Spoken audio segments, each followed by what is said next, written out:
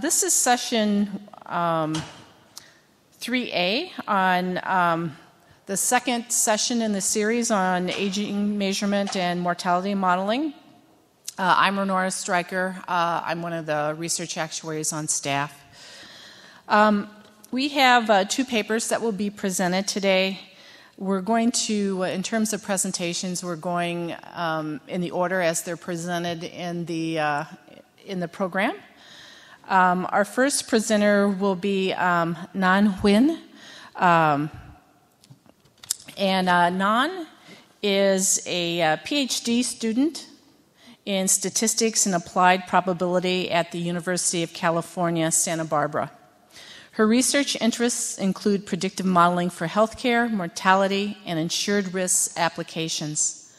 Among her recent publications is Using Survival Analysis to Predict Workers' Compensation Termination, that appeared in Variance in the uh, April 2018 uh, issue, and a predictive model for readmissions among Medicare patients in a California hospital, published in uh, Population Health Management in November 2017. Our second presenter is uh, Pinky Huang Pinky is um, actually employed by Zurich Financial Services, but um, the paper is when she was a student um, in the School of Risk and Actuarial Studies at uh, the UNSW Business School and the Center of Excellence in Population Aging Research. She has completed the combined degrees of Bachelor of Actuarial Studies and Bachelor of Commerce at, the, at UNSW um, and that was in 2018. Her research is on mortality modeling for insurance, pensions, and financial applications, and her thesis topic of the honors degree was uh, multi-factor affine mortality models with applications to longevity risk, which um, um, have you presented on that before? I've, I think I've read, read your paper, but anyway. Um, Pinky is not presenting on that, right? At this, you're presenting on a different. Um, maybe Mike has presented. Maybe it was Mike. anyway, that was that's also a good paper if uh, if you're looking for good reading. Anyway, um, our third uh, presenter is um, Tom Edwalds. Uh, Tom is a clinical professor of finance at DePaul University and the executive director of the Fred Arditti Center for Risk Management at DePaul. Uh, Tom began at DePaul, um, was it last year or a couple years ago? Was more than. Okay, in 2014. Um, after many years of um, uh, actuarial experience.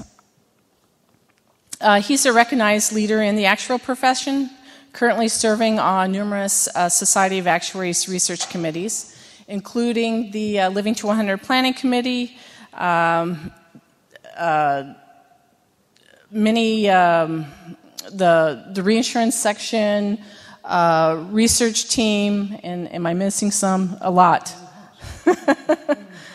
um,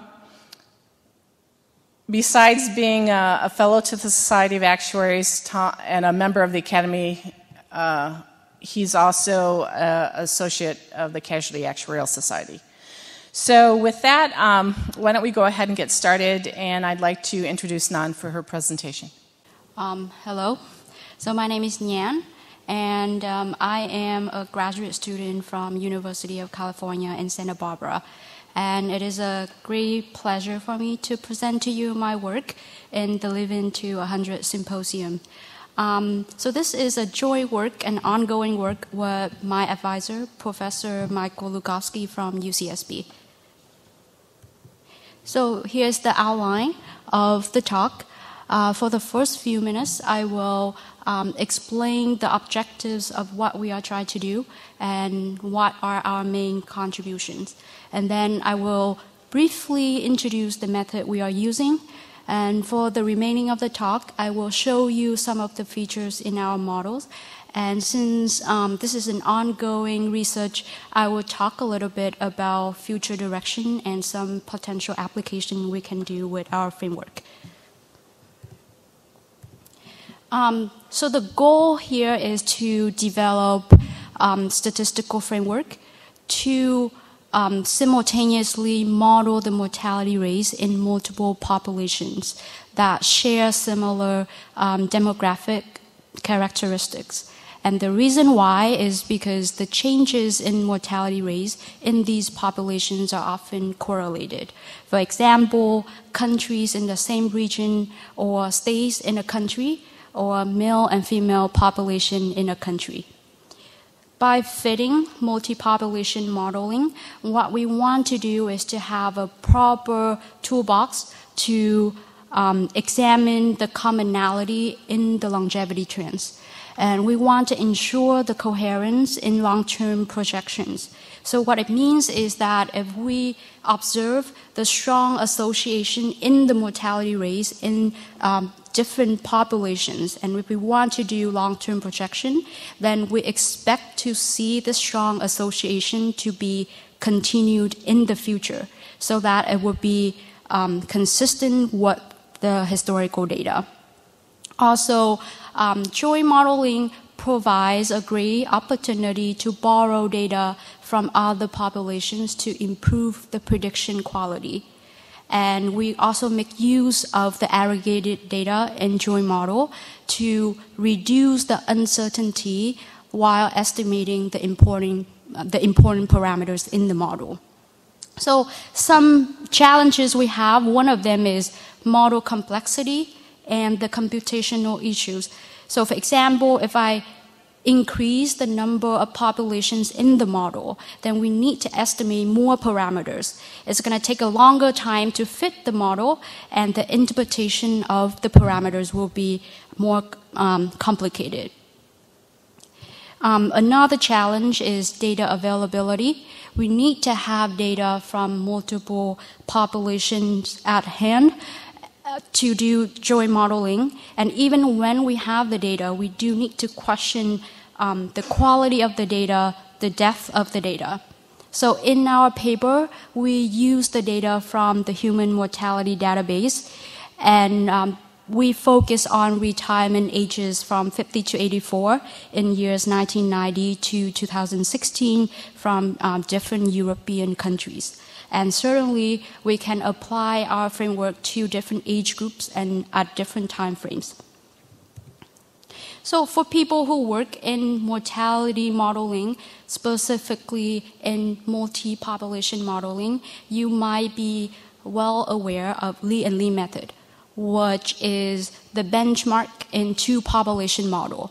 So this framework allows us to incorporate age and year into the model as factor inputs, and we can estimate the um, common trends in age and year along with the country-specific trend in age and year. We can also employ time series method for mortality projection. So the downside of this model is that we can only incorporate two population at once and there are hundreds of parameters needed to be estimated. So what we want to do is we want to step back from the common approaches for example, using time series methods for mortality forecast or treating age and years as factor covariates. What we want is to employ spatial statistical framework of Gaussian process regression as a machine learning method for multi-population model. So why this framework? It, is, it, prov- it provides great flexibility because it fits the mortality rates as stochastic process. So it is a Bayesian approach.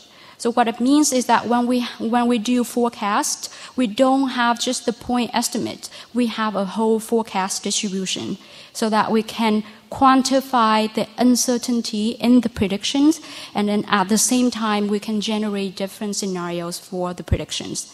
And um, this is a non parametric approach, meaning that we can model arbitrary function instead of having, um, having assumption on the form the function can take. So, adapting Gaussian process regression for multi population modeling allows us to um, estimate the cross population uh, dependence in the mortality rates, and at the same time, um, unlike the Li and Lee method, we can incorporate more than two populations, and the number of parameters needed to be estimated is substantially smaller. So let me quickly talk about the method. So the method is kind of similar to um, regression. So let's say that I have an input vector, and for this input vector, it contains information like age, year, indicator functions to indicate which population the observation is from.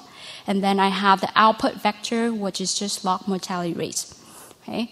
And then the model assumes that there is a latent function f that links the output with the input plus some noise. And we're going to treat this function as a random variable. So the way the model works is to use Bayes' theorem. So the ultimate goal here is that we want to find the likelihood of the new mortality rates given the experience data. And in order to do that, we need to specify the prior distribution over this function f that we want to estimate. Okay? And what makes Gaussian process regression works nicely is the assumption that this function f is a realization from a stochastic process. And this stochastic process is Gaussian process. In a simpler term, what it means is that any finite sample of this function is from a multivariate normal distribution. And all the properties of this function f are specified through the mean and the covariance function. So what it means is that if we want to fit this function f, is equivalent to fitting the mean function and the covariance function. So the covariance function in this model plays an important role to um, describe the similarities between any two data points. And the idea behind is very intuitive and is similar to Tobler's first law of geography that everything is related to everything else, but near things are more related than distant things. So if I translate that to our setting, what it means is if I have two data points, and if the input values of these two data points are very close, then we would expect the output values for these two data points will be close or highly correlated. And in contrast, if the input values are far apart, then the output values will be not correlated. Another example is if I know the mortality rates for age, let's say 50 in year 2010, then it will have a great um, influence on my expectation for the mortality rates for age 52 in year 2012. Okay? So in the paper, we use the square exponential kernel. So basically, it just provides a formulation to compute the covariance between two data points. And there are several important parameters in this covariance kernel. So a group of these parameters will help us estimate the cross-population correlations between two populations in the data. And then we have the parameters are known as the characteristic length scales in age and year, which controls the smoothness of the function f in the age and year dimension. So, for example, if I have large values uh, for these two length scales in age and year, then the function f will be over smooth. But if I have small values in age if I have small values um, in these two length scales, then the function f will oscillate in high frequency. So the collection of these parameters in this covariance kernel is the kernel hyperparameters. Okay? So we want to fit the model. So fitting the model is basically just to estimate the parameters in the mean and the covariance functions. And we have two approaches. So the first approach is to, to do optimization, where we want to find a set of parameters that maximize the marginal likelihood function. Okay? The second approach is the hierarchical approach, or also known as a fully Bayesian approach. So what we have to do is before fitting the model, we need to specify the prior distributions for all the parameters in the model. So what it means is that at the end of the day, instead of having only one parameter, so each parameter now will have a distribution so that we have a collection of models that are consistent with the data. So compared to the MLE method, it is computational more intensive. Um, it's com- computational more intensive, but it quantifies the model risk. So let me show you some features in our models. So as I stated earlier, that we can incorporate more than two populations in our model. So let's say I have a joint model for male observations from four European countries. Okay, so after I fit the model, then I will see the estimated parameters in the mean and the covariance function. So the mean function in our model, it describes the trend in log mortality rates for all four populations in the model. Okay? And the way we interpret the parameters in this mean function is similar to regression framework. And then we have the covariance function. So there's two important things that we can take away from the covariance function. The first thing is we can see the share values in length scale for age and year across all four populations. And let me remind you that these length scales controls the smoothness of your um, mortality surface. Okay? And we can also estimate the cross-population correlation. So for example, you can see based on the correlation matrix here that Denmark is more correlated with UK and less correlated with France and Sweden. Okay?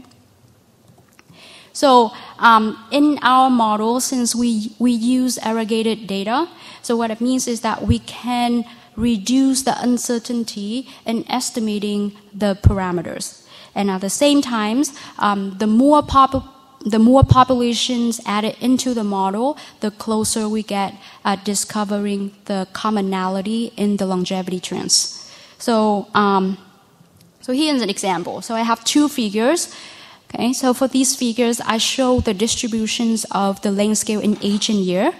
So the one, um, and then so the y-axis is the credible bands, and the x-axis is just different models. And if I move from the left to the right of the of the x-axis, then the number of the populations increases. So, for example, the first four models are the models with only one single population, and then the next six models are models with two populations from all four countries: Denmark, France, Sweden, and UK.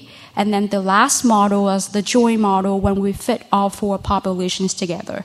Okay? And then if we move along the x-axis, you can see that the credible bands of the parameters get narrower. So this again implies that joint model provides tighter hyperparameter posteriors to reduce the model risk. So in these two figures, we also have the dashed horizontal lines that crossing the credible bands.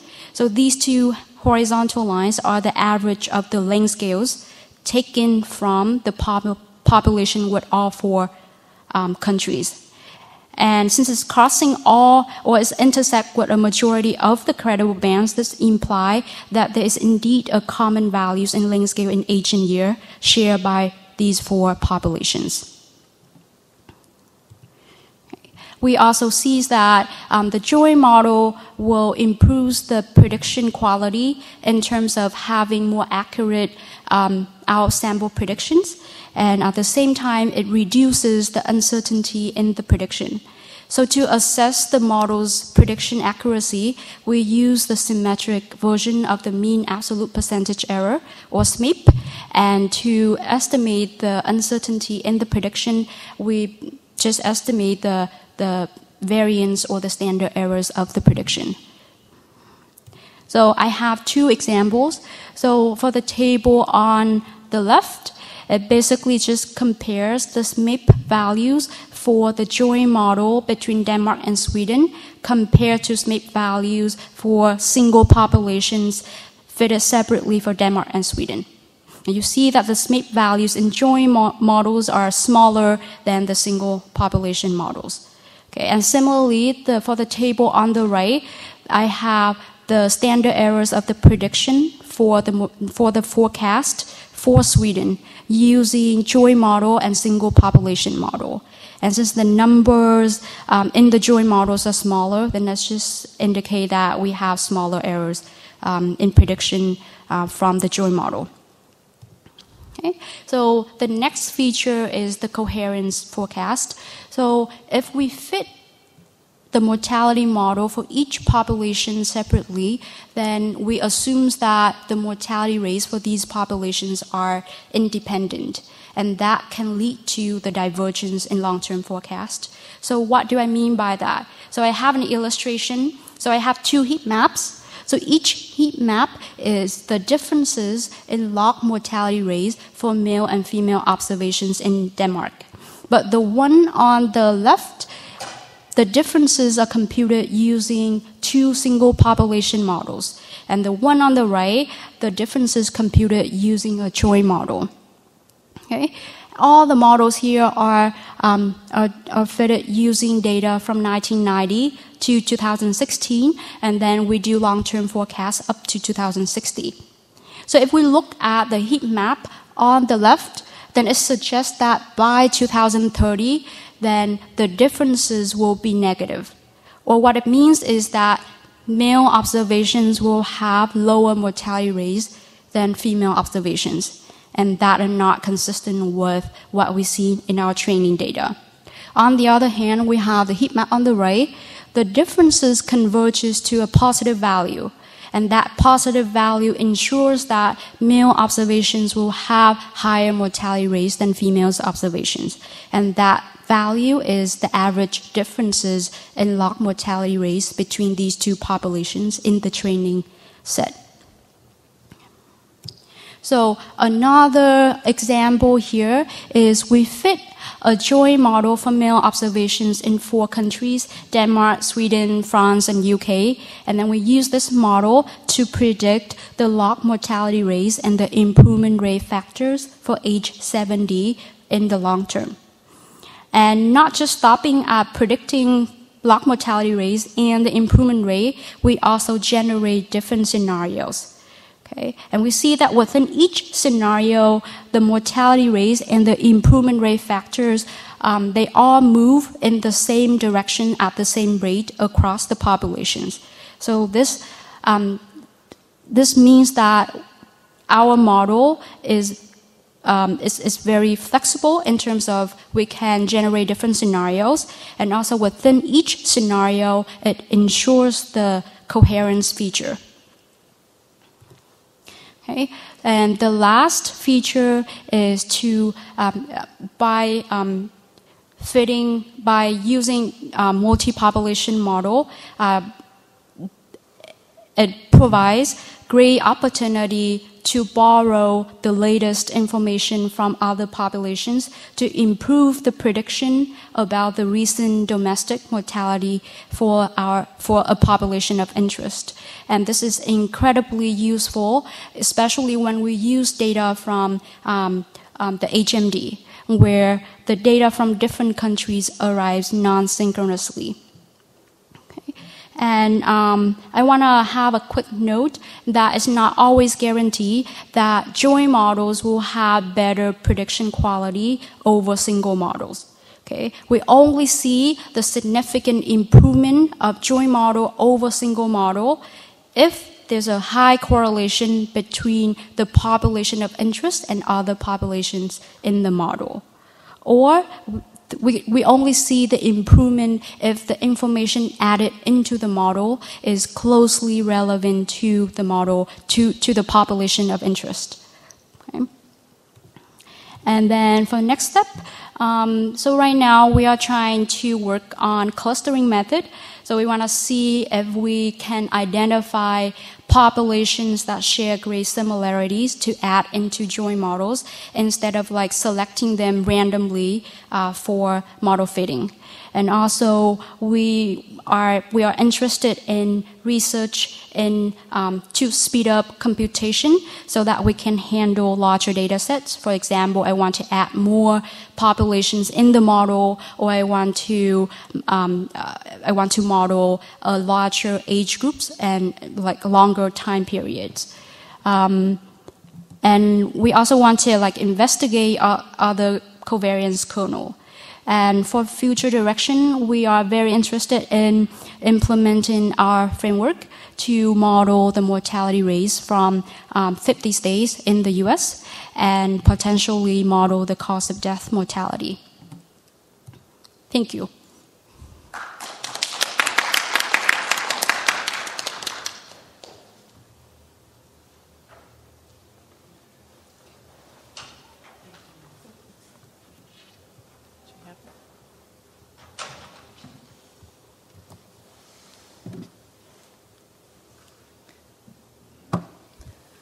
Hi, everyone.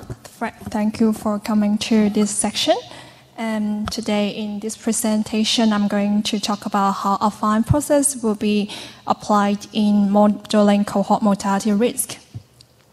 So, due to recent mortality improvement, mortality model research has attracted great attention, especially the discrete time mortality models. So, um, for example, Lee-Carter model is one of the most famous um, discrete time model, and this type of model mainly focuses on uh, how the trends of mortality improvements and the impact of uncertainty of mortality. Some of these models also incorporate the cohort effects. Another type of the, um, mortality model is the continuous time affine cohort mortality models. And due to the need to manage longevity risk, this type of model also become popular in recent research. So some of this type of model only consider the evolution of mortality intensity within single cohort, and some models will consider the force of mortality across multiple cohorts. So why we would like to choose um, continuous time affine mortality models? One of the benefits of this type of model is that it has analytical tractability, which means we can derive closed-form solutions to the survival curves. And this type of model is also consistent. It means that it can, um, the functional form of survival probabilities will maintain across time, and it will also provide stable parameter estimates. As um, this type of model is developed based on term structure model, financial market participants will find this type of model familiar. And based on the structure of a affine model, it is easy and natural to extend to multi-factor models to capture different trends, volatility, and correlation by age. And with multi uh, arbitrage-free formulations, it is easy for us to use this type of model to calibrate the price of longevity risk. So Today in this presentation, I will introduce uh, different types of continuous time affine mortality model, including their survival probability solutions, mortality dynamics. Uh, in particular, I will talk about a model called arbitrage-free Nelson-Siegel model, which has factors that is level, slope, and curvature. And we will fit this model to age cohort data. We will estimate these model by using Kalman filter, and this is how the Poisson variation will be captured. And we will compare the model performance by using in-sample analysis and out-of-sample prediction. So to start with, um, as our continuous time affine mortality model is uh, based on term structure models in credit risk models. So we would have developed a concept or, or term that is equivalent to the yield to maturity in zero coupon bond, and we call it as average force of mortality. And notations in credit risk literature can be also applied similarly in mortality modeling. So survival probability in um, continuous time model is defined as um, at that a cohort at age x at time t survive a duration of capital T minus T will be this formula. and with uh, factors that have three factor, so it, it will be a exponential function of affine function of the x. x will be the factors that are driving um, mortality rates, and which is similar uh, to a stochastic parameters that are affecting the mortality curve. And B here is the factor loading this to describe the impact of different factors on our mortality curves at different ages. With um, survival probabilities, we are easier to um, define average forced mortality, which is equivalent to usual maturity, as I mentioned. And B here is factor loading. A is the adjustment factor for our survival curve. So one of the examples of continuous time mortality model is developed by Blackburn and Sherris in 2030. And it has this form of um, factor loadings and adjustment factor um, the delta and sigma are to be estimated. Also, one of the most important uh, structure model, Nelson-Siegel model, can be developed to have a form of um, mortality model. So the equivalent form of Nelson-Siegel model um, has been developed with arbitrage-free dynamic implementation. So, for example, we have independent affine uh, arbitrage-free Nelson-Siegel model here. The B um, average the factor model factor loadings is um, in this form with different uh, adjustment factor. You may note, um, you guys may notice that the factor loadings in this model is quite different from the Blackburn and Sherris model we see before. This is because um, with this specific factor loading form, we can interpret the three factors in this AFNS model as level, slope, and curvature. And the A adjustment term here is to ensure our model to be arbitrage free. So um, to manage price longevity risk, we will have a price um, of we have a Q measure risk neutral measure. So the risk neutral measure is defined using a longevity zero coupon bond. So let P bar to be the price of longevity zero coupon bond. R here is the interest rate with mu as the mortality rate. By assuming the dependent between interest rate and mortality, this um, zero um, longevity bond can be written as the price of normal zero coupon bond and survival probabilities under um, Q measure.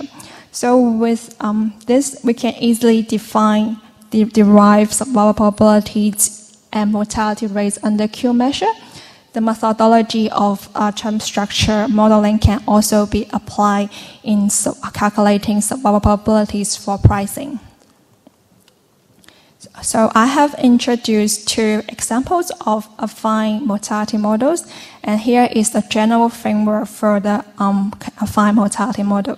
So X is the latent factors that are driving the mortality rate. It follows uh, the following stochastic differential equations. So K here is the mean reversion matrix. Theta is the long-term mean, which we usually assume it to be zero. Sigma is the volatility matrix and W is the standard deviation. The matrix here is a diagonal matrix with these um, diagonal entries. This is a continuous time equivalent of autoregressive processes for factors. Under these uh, dynamics, we can develop um, survival probabilities under Q measure, and we can see that it is also an exponential function of affine function of um, x factors. So the b factor loadings, a adjustment term will follow the following ordinary differential equation with the zero boundary conditions. So within this um, affine mortality framework, two types of mortality frame, um, models have been developed. The first one is to have all the factors following Gaussian process. With Gaussian process, there is a probability of negative mortality rates. However, this type of model is readily to be estimated with Kalman filters. It is easy to simulate it, and we have proved that um, in practice, it is a very low probability of negative mortality rates. we have also um, developed another type of mortality model with all the factors following square root processes, and which also known as the CIR processes. With our CIR process, um, this model is easy easier to capture the heterogeneity in population, which is the differences among individual.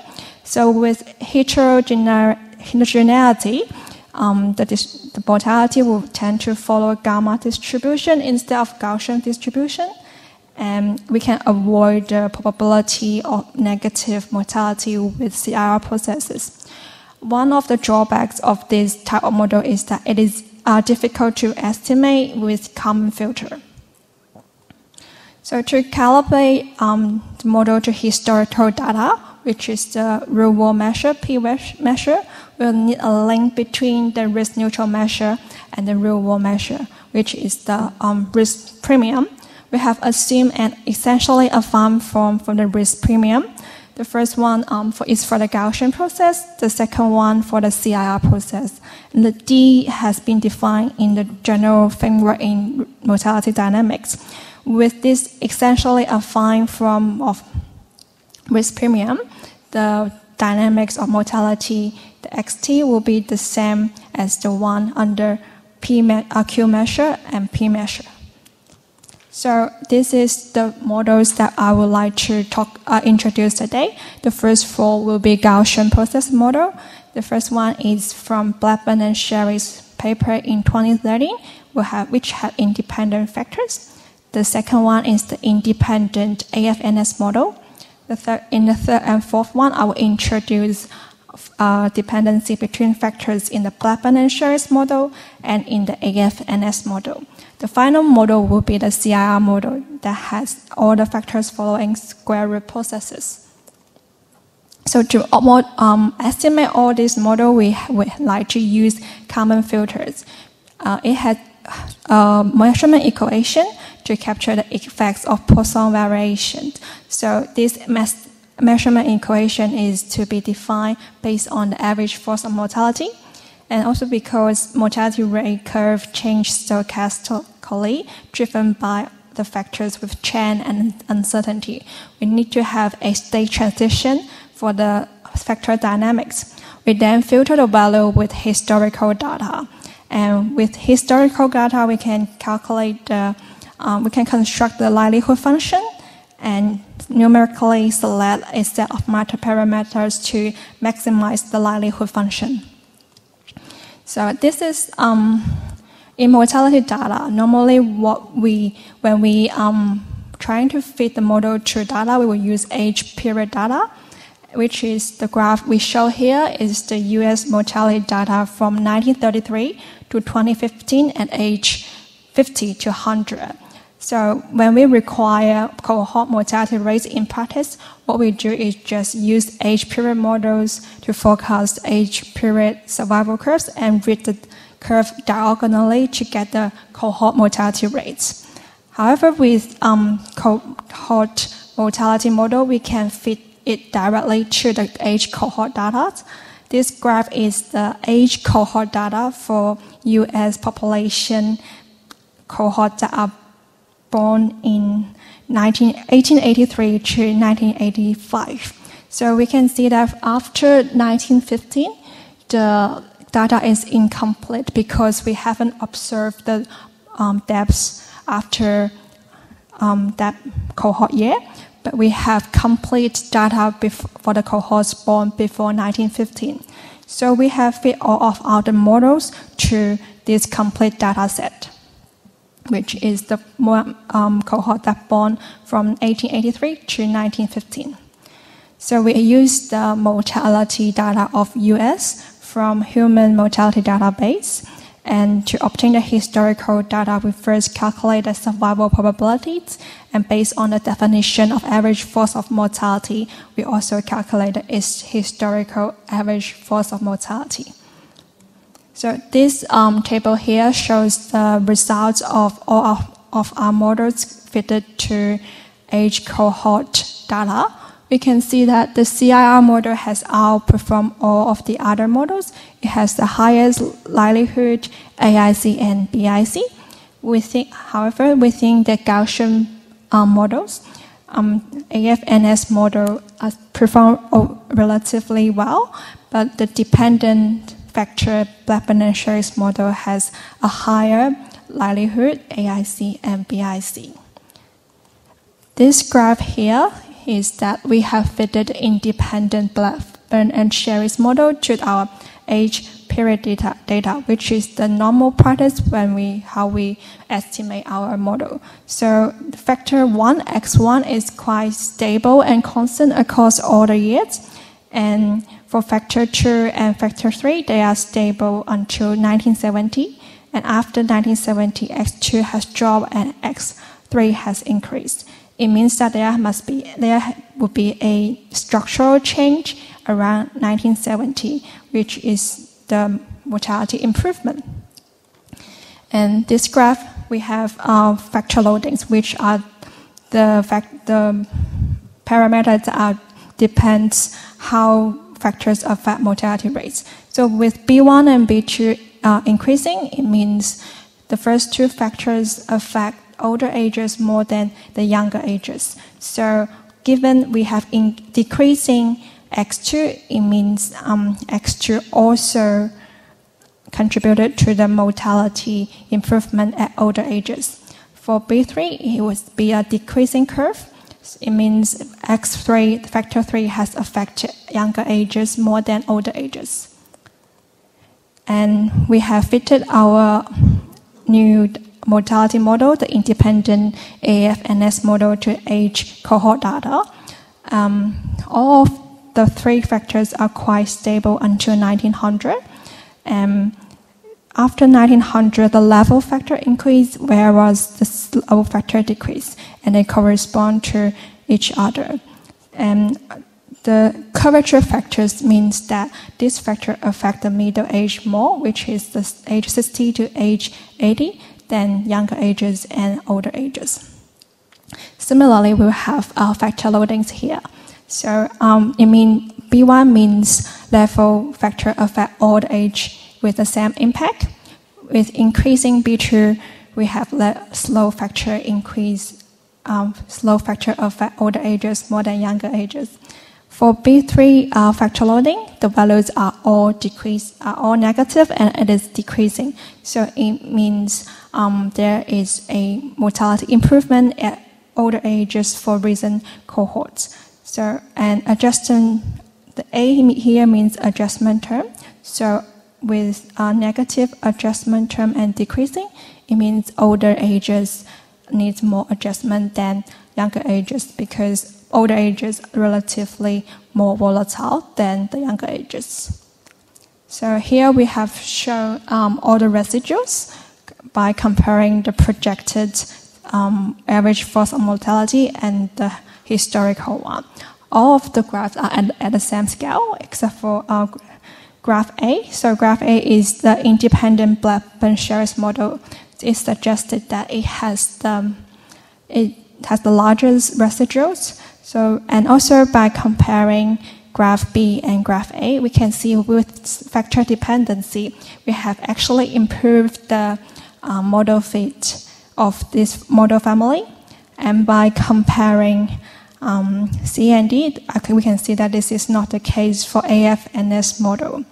Also, by looking at the independent Blackburn-Sherris model and the AFNS model, which is graph A and C, we can see um, the structure of AFNS model, which is the level slope curvature factor, has improved the ensemble model fit. And despite all of that, we have found that the CIR model has outperformed all the other, all other models. And we can also see a hump here across all the graphs because the structural change in 1970. And this is the um, percentage error of all the Gaussian, Gaussian models. So um, we can see the independent Blackburn-Sherris model perform relatively bad at older ages, others perform similarly. And we have compared the better perform model, which, is the independent AFNS model and dependent Blackburn-Sherris model with the CIR model. um, at older ages, we found that the AFNS model and CIR model have better in-sample fit. So to, um, as we use this model to forecast survival probabilities, we also need to assess the out-of-sample performance. So before we do the um, assessment, we have to calculate the focus of average force, average force mortality by using conditional mean of the factors. And then we can calculate the survival probabilities expectation. So this is the conditional means for all the models. And here we compare the forecast performance for the five models. So we can see although CR model has a very good in-sample fit, the sample, uh, forecast performance is not that good. But um, AFNS model has performed really um, well. And on the graph on the left side has graphed the actual survival probabilities and all the projected um, survival probabilities. We can see the independent Blackburn and Sherris model underestimated and the CIR model, model also underestimated. On the right hand side, we can see um, the percentage error of all these projected survival curves. We, um, the independent AFNS model has um, the lowest percentage rate. So we can conclude that the independent AFNS model has good in-sample performance and also the predictive uh, performance. So to wrap up, we have introduced uh, continuous time mortality rate, especially the AFNS model, which has level, slope, and curvature factors. We have outlined the dynamics of mortality rates and the closed form solution of survival probabilities. We have talked about how we estimate the um, parameters using Kalman filter and also how to capture Poisson variation.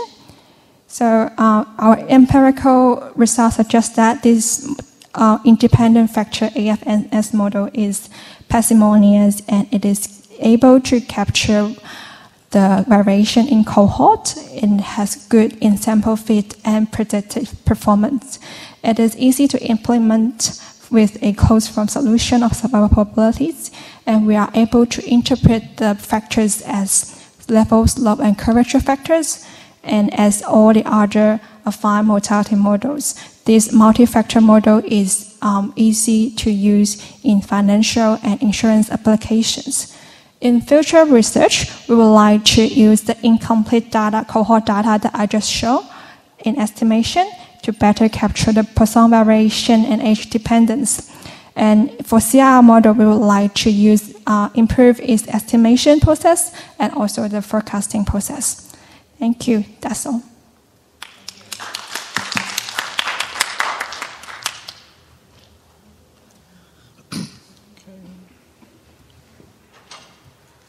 Oops, how do we get out of here?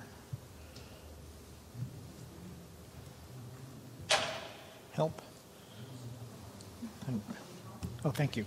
Okay. All right. Um, let's try again. All right.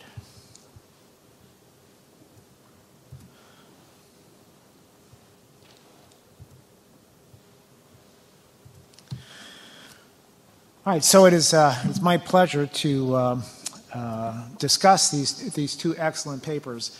And um, let me start by just saying that for me, my favorite part of, you know, Ronora mentioned I'm on the planning committee for this conference. My favorite part is that I get to read these like, papers that, not just that I get to, but I force myself to, because uh, I, these are papers that I, you know, would, would just looking at the abstract say, oh, yes, I'd like to know that.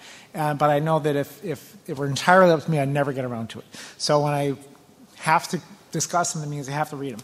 So um, so I, I, I, do enjoy that. And um, these, are, these were mathematically challenging papers. I know for me, I, I take great pride in being able to keep up with all the with all the math developments, but I was kind of out of breath after reading both of these papers. Uh, so you've done a wonderful job, both of you. Um, I'm going to talk about them separately because they kind of go in, in different directions.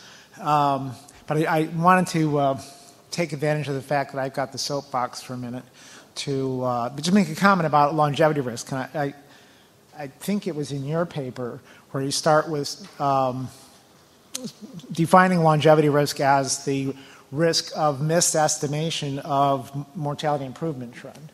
Um, and uh, I like to distinguish between individual longevity risk and aggregate longevity risk. If there wasn't such a thing as individual longevity risk, you wouldn't have annuities and pensions. People don't know how long they're going to live, and that creates a risk for how do they manage their assets after they're no longer um, wage earners. So um, that's the genesis of all longevity risk. The, um, the aggregate longevity risk is the fact that uh, the so individual longevity risk is an insurable risk. I mean, when you aggregate it, you reduce the risk substantially due to the law of large numbers. Uh, the thing is, to have an insurance work perfectly, the risk should be uncorrelated, or at least approximately uncorrelated. And mortality improvement trend is a correlation between all the people that are exposed to individual longevity risk. So that's aggregate longevity risk, and it's, it's, it's important to measure and it's worth measuring, but I just, I just like to point out there's, there's two kinds of longevity risk, and, and as actuaries, we need to be uh, sensitive to both of them. All right, so um, starting with the affine mortality models. Now, I, I wanted to start by putting an equation up here that I understand, okay? Uh, you know, going, going through all, all the uh, um, stochastic differential equations in, in the paper, you know, kind of like, uh, I think that's right. Um, but it's getting back to this, you know, fundamental definition of a continuous annuity. So, continuous annuity, um, this I think is out of Jordan. I don't know if they use the same equation in the other texts since then, but uh, just um, if you measure the force of mortality with mu and the force of interest with, with delta, uh, you just integrate the exponentiation of, of, minus those things over time, and that's your, your present value of your continuous annuity. So, um, where, where, this paper is kind of uh, starting from is, you know, when we look at, especially look, for me, I learned from Jordan, and it kind of made the assumption that interest is constant and that the uh, force of mortality is a known function, and neither of those are true. I mean, both, um, both the force of mortality and the interest rate are complex stochastic processes, and um, there's been a lot of work done on stochastic modeling of, of interest rates. Uh, what one of the things this paper is doing is um, is bringing in some of the techniques from uh, stochastic interest rate modeling into modeling the stochastic mortality rates. So we do need to measure both the mortality and the interest rate risk to, to capture the risk of the valuation of these annuities and all uh, longevity type products. Um, so the, the, um, the model that was focused on in the paper is this arbitrage free Nelson Siegel model, um, which is a continuous time force of mortality model. And so um, the big advantage here, first of all, there's a closed form with, with components for level, slope, and curvature, so you can, that sort of, that part sort of intuitively makes sense, but um, when I looked at that term that makes it arbitrage free, I'm like, I'll take your word for it. it just didn't, I didn't look at that and say, oh yes, of course, that's what that, what should make it arbitrage free. So that part was a, a little bit challenging. Um, but getting a closed form is, is always a, an accomplishment, particularly when you're doing a, a stochastic process. So I, I, congratulate you on that. Um, and the, the, other advantage here is that you're getting sort of a, a consistent approach to modeling both the mortality and the interest rate risk. So when we're trying to uh, to estimate the um, longevity risk in terms of the valuation of, of longevity products, having that consistency gives you a, a good basis for, for modeling that risk.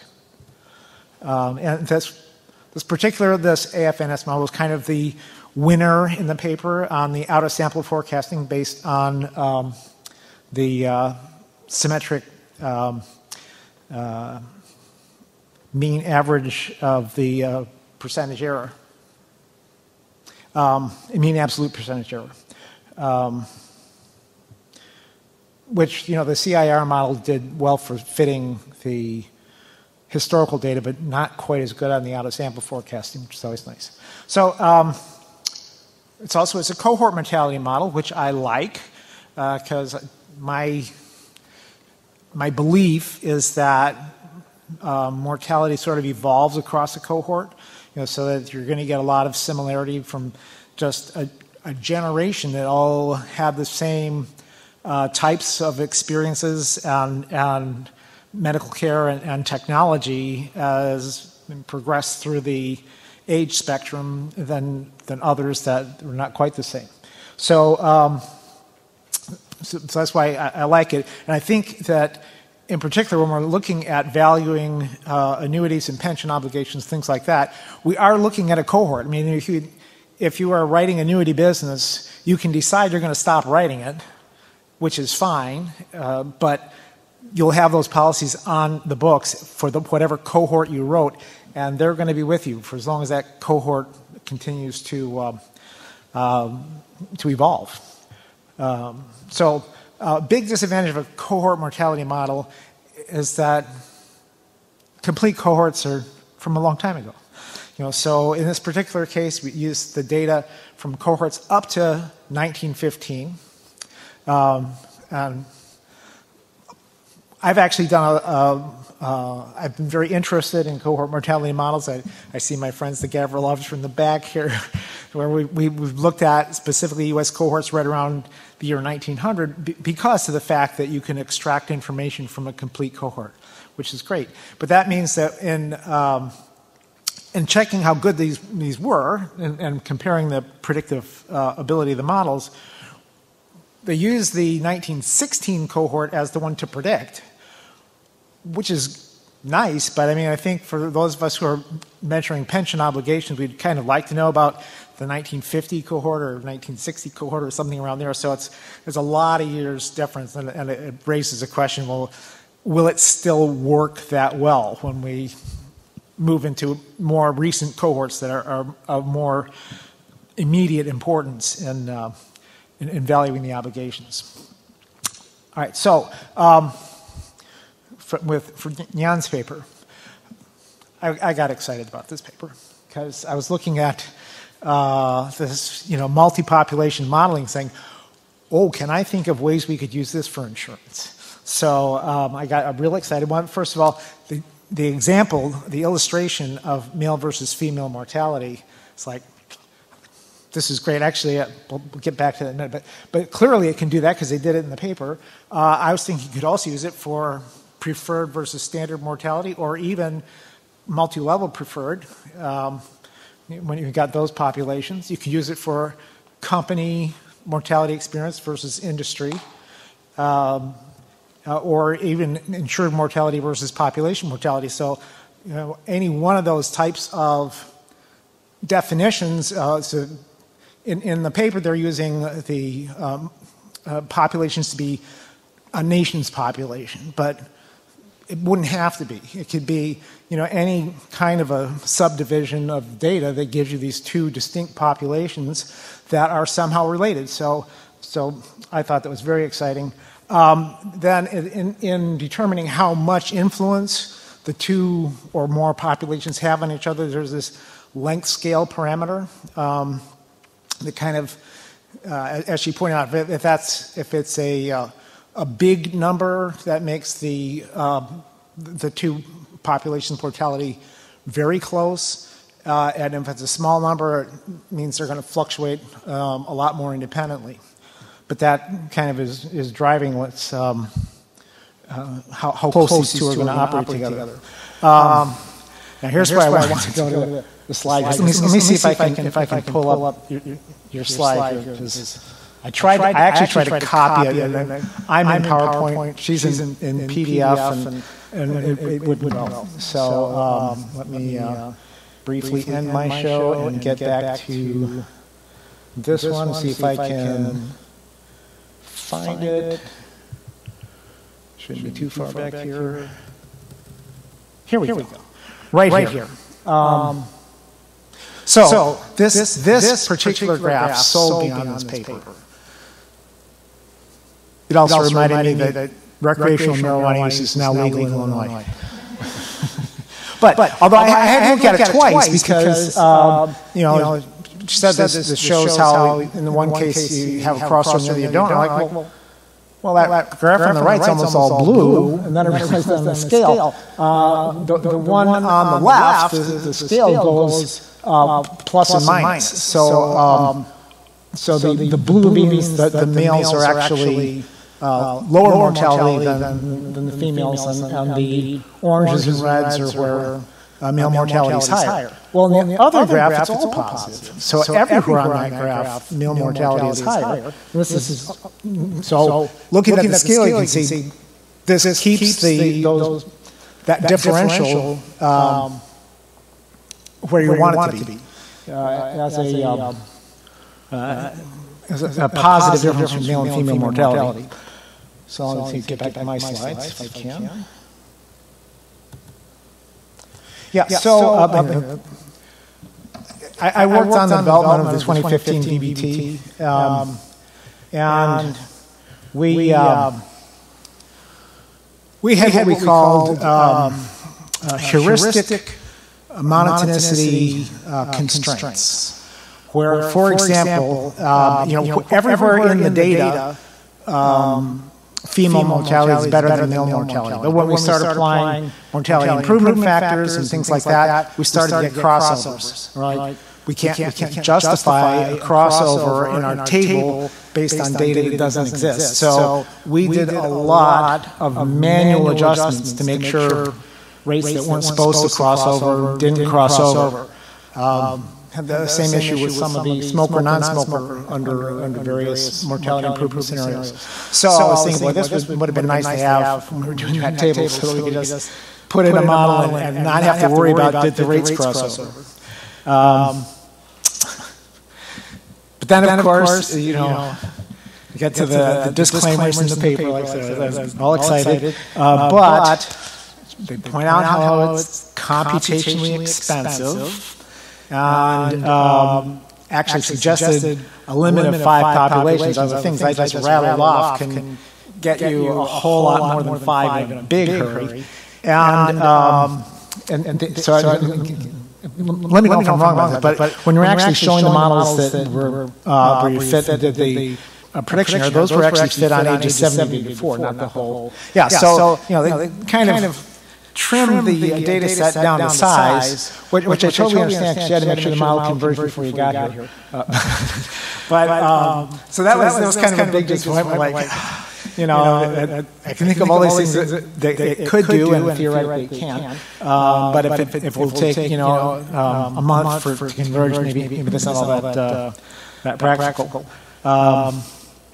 And the other thing that was mentioned in the paper is about um, the covariant stationarity constraint, where, where I believe the suggestion was measure, uh, fit your model over limited age ranges so that you don't have to have so much um, influence. that. So I guess that part of my question is that, that, um, the fact that the relationship between um, ages that are the same number of years apart was, um, should be the same as part of your covariance stationary requirement. Does that sort of implicitly imply a Gompertz curve underneath?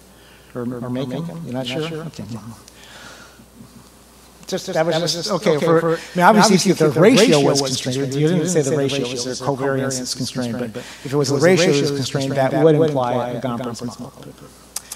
All right, so, um, that's, um, that's my contribution today.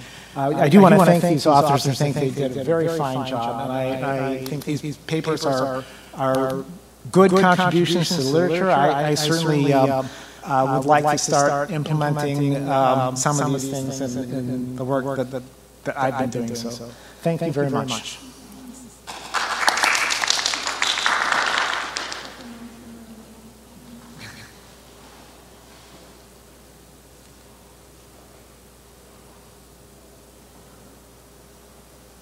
We have some time for comments or questions. If anyone has any, just go to the microphone. Anyone? Yep, yep. Yeah, and could you state your name, please? Oh, oh, okay. I'm Xiaoming Liu from Western University. So, yeah, what else about me? I think it's more about the work here. And um, I do appreciate uh, two young researchers present uh, their excellent work.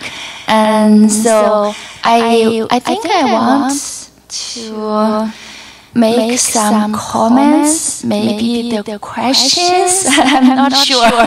So basically, I think I, I have also worked on those models as well. So one is the multi-population uh, models. Another is the uh, affine models, uh, multi-dimensional. So I think those models are really complicated to work through. So it's not easy. But, but on the other hand, so I think um, um, so you look for some nice properties out from those models. So, like uh, you discuss for uh, multi-population models, then you are able to generate uh, reasonable male and female differences. So that's a nice property you are able to achieve. And the other one.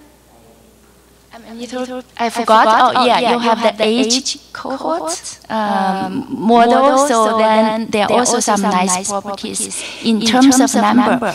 So now it comes my comments and the questions. So although uh, um, ideologically those numbers make sense to some main principles. Um, am I right? right? But, but I really appreciate if you can have more interpretation about those numerical results. So, other than like, like uh, male and female gaps, generally make sense. They are all positive, or you know some consistency between ages.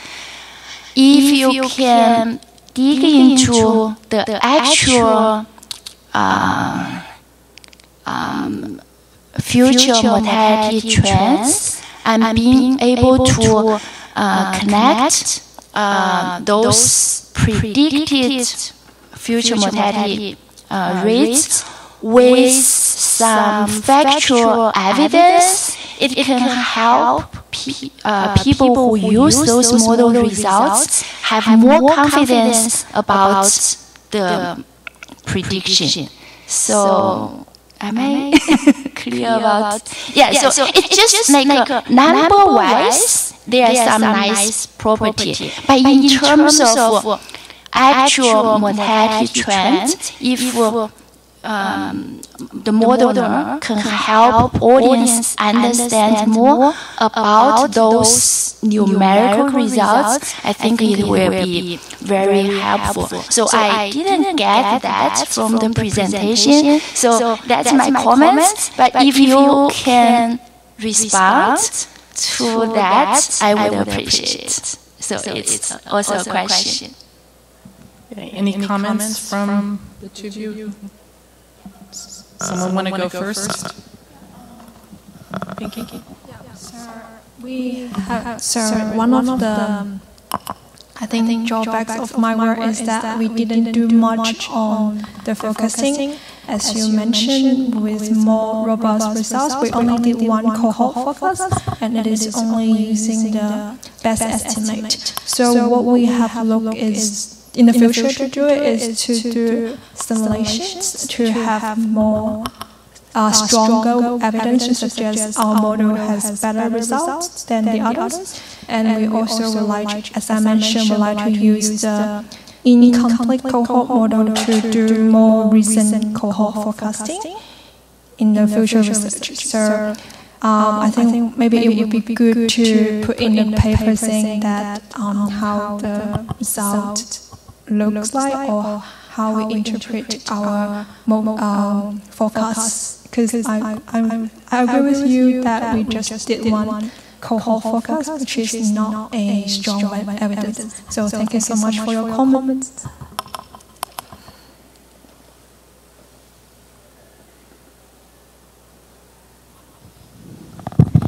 I'm not really clear on your question, but my comment is like at least for our model, um, we are able to generate different scenarios, and um, so let me.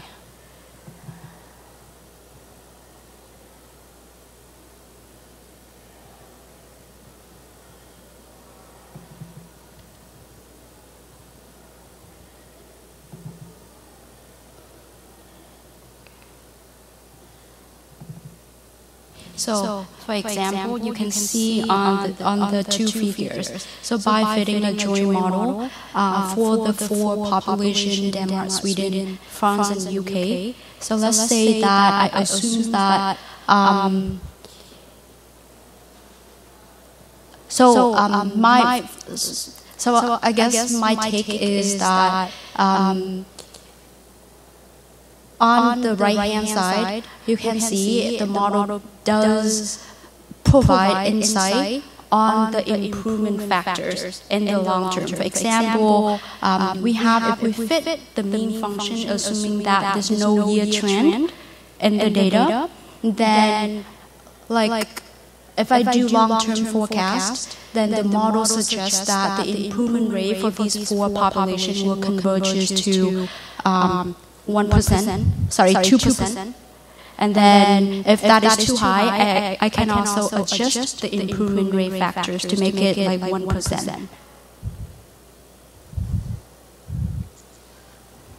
All right. Thank you. So I, I think uh, my question is more um, what support you to make those adjustments, and then how those adjustments make sense Uh, in terms of the people who use those models. So it's really not about how you can manipulate those outcomes. It's more which uh, uh makes sense in terms of, uh, you know, actual evidence to suggest those should be future trends. Yeah. yeah. So um, I think that um, there's only so much you can do for long-term forecast. I understand. Usually like 20 years or like 40 years forecast. So uh, right. usually in practice, I think people do use their expert knowledge to generate the right scenarios.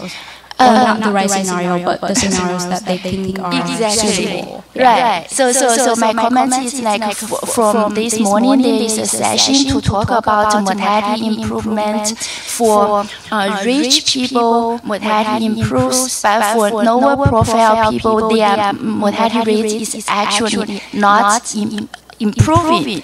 So if the model always, um, if this model suggests um, convergence is a good feature, but that may not be justified by the actual mortality trend change. So, uh, what I'm asking is more like uh, the model feature be justified by actual mortality change evidence or those, those kind, of things. things. So, so I'm not. Um, uh, so I'm more suggesting for for modelers who do those kind of research, try to be connected with um, the reality, with uh, yeah. So so again, I appreciate both of your work. Yeah, thank you for your comment.